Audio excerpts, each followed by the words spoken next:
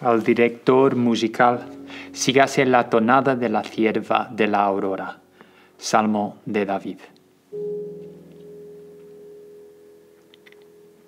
Dios mío, Dios mío, ¿por qué me has abandonado? Lejos estás para salvarme, lejos de mis palabras de lamento.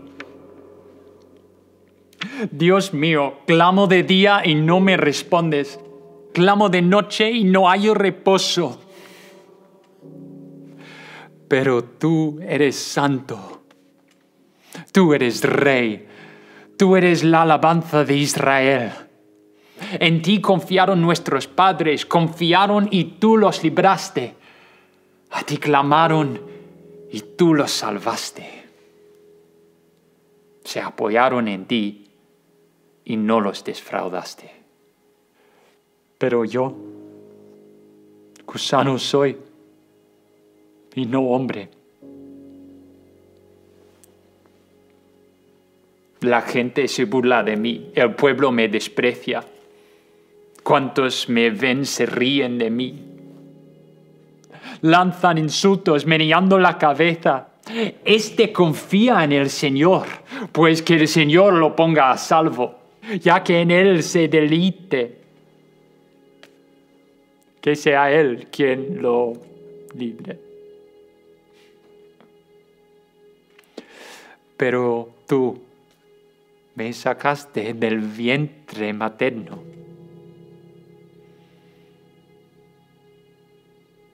Me hiciste reposar confiado en el regazo de mi madre. Fui puesto a tu cuidado desde antes de nacer, desde el vientre de mi madre. Mi Dios, eres tú.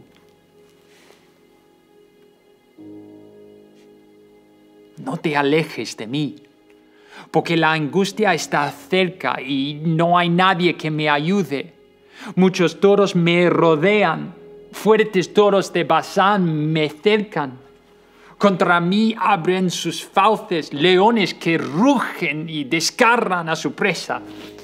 Como agua he sido derramado Dislocados están todos mis huesos, mi corazón se ha vuelto como cera y se derrite en mis entrañas. Se ha secado mi vigor como una teja y la lengua se me pega al paladar. Me has hundido en el polvo de la muerte.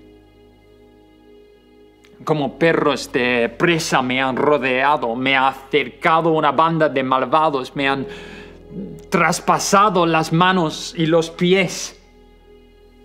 Puedo contar todos mis huesos.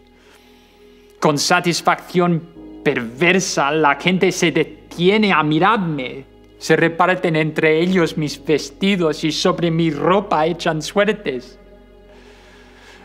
Pero tú, Señor, no te alejes Fuerza mía, ven pronto en mi auxilio.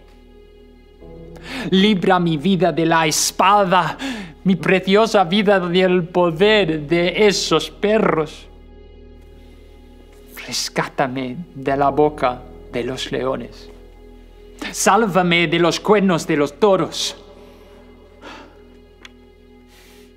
Proclamaré tu nombre a mis hermanos en medio de la congregación te alabaré. Alabad al Señor los que lo teméis. Honradlo, descendientes de Jacob. Veneradlo, descendientes de Israel. Porque Él no desprecia ni tiene en poco el sufrimiento del pobre no esconde de él su rostro, sino que lo escucha cuando a él clama. Tú inspiras mi alabanza en la gran asamblea. Ante los que te temen, cumpliré mis promesas.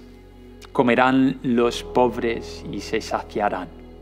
Alabarán al Señor quienes lo buscan que vuestro corazón vive para siempre. Se acordarán del Señor.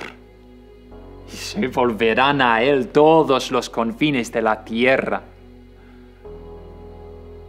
Ante Él se postrarán todas las familias de las naciones.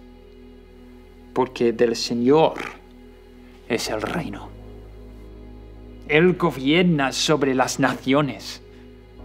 Festejarán y adorarán todos los ricos de la tierra.